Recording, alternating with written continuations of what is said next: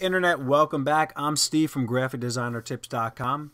In today's lesson, I'm going to teach you all in Adobe Muse how to work with type, and specifically through a program called Adobe Typekit, which is actually a plugin to Adobe Muse. Now, on the screen is a website I started building last night, and if you see on the top right, uh, well, basically throughout the page, but mainly on the top right, we got a couple different fonts going on, just because this is actually a logo a PNG file. And we have a couple different fonts going on. And web designers might be looking at this and saying, where do these fonts come from? Are those images or are they real text? Well, I'm going to tell you right now that these are real text. And this is the coolest thing about this new part of Adobe Muse is uh, that you can you can use real text in it as opposed to having it as images. Because when it comes to SEO and the search engine being able to read your website, it needs to read uh, actual text. It cannot read images. I mean, you could put alternate text on images and stuff like that with keywords, but reading paragraphs and bodies of text and, and headers, H1 tags, and such, you need it to be actual type. So throughout the years, the way that this has been done on websites, it's we've been using web safe fonts. We've been using Arial, Helvetica, Geneva, Georgia. These fonts are disgusting. They're terrible. They're ugly. So in this new Adobe Typekit, we have over 500 fonts that we could choose from for our headings, for our paragraphs. It's really, really cool. So I'm going to show you how we're going to do this real quick. I'm going to delete these two text boxes.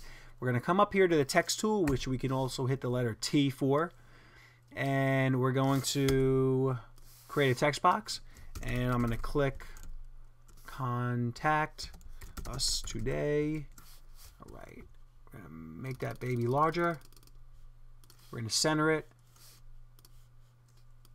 All right, now we're going to option, click, and shift, and it's going to drag it down. We're going to create another one. Put my area code, 555. I don't know the other number by heart, and I wouldn't want to mess it up because then somebody might get like tons of phone calls because of this video. So I will show you right now how to turn it into a web safe font that is not one of those boring ones. Now, before I do that, the only other thing I want to point out is system fonts. On our computer, we have tons of our own system fonts. I have fonts that I found, you know, free fonts throughout the internet or fonts that I can use uh, InDesign or throughout the internet. Um, and we can actually use this in this program, but there is a downside. I'm going to show you right now. We're going to double, we're going to click and highlight this text, and we're going to come into our font and change it. Uh, we're going to show web safe fonts. These are those ones I spoke to you about. And then we have system fonts. Now, next to system fonts, they did this for a reason. They put it in parentheses. It says exports as an image. Well, what did I say about two minutes ago? When a search engine is trying to read keywords on your website and it sees images, especially text as images, it's not going to read anything. It's going to hurt the hell out of your SEO. Um, the only time you're going to want to do this is if you design a logo for somebody with a specific font that only you have because the Adobe Typekit, the 500 fonts I told you about, they're not fonts that you've ever recognized. I've never seen any of them. So they're all fonts that Adobe has put together and they're awesome fonts, but they may not be the same font that you designed somebody's logo in. So you technically if you have to do headings, they want all the headings in the website to be this special font. Well, yeah, you can come into system fonts, but you need to let these people know it's going to hurt their SEO because headings, H1 tags, are the most important for, an, for a search engine.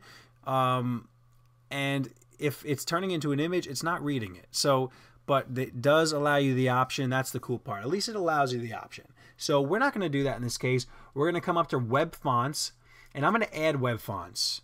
And when you come in here, it's going to show you different categories. It's going to show you sans serif, serif, uh, a slab serif. We got script, and then we got some fun ones over here. And at the end, the, the best part is if, if you're really confused, you don't know which ones to choose from, these are recommended. Recommended headings are here, and recommended paragraph text are here.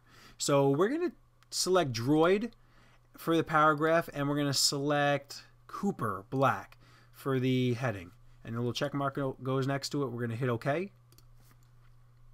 All right, so now two font families were added to the web fonts menu. Thank you. Hit OK. And with our text selected, we're going to click down and I'm going to click the, the Cooper one first because that's a fatter font.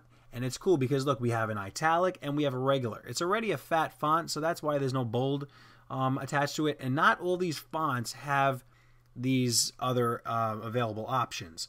You know, some of them they don't have italic or regular. And if you try to insist on on forcing it to go italic by coming up here and just hitting italic when there isn't an actual version of it, it's going to screw up a little bit. So that's a tip, just remember that.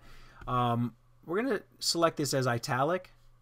Um, that actually goes up there. All right, cool. All right. Um, it kind of works with the site. It's fun. It's a little playful. We're going to highlight the number and we're going to come into the second one.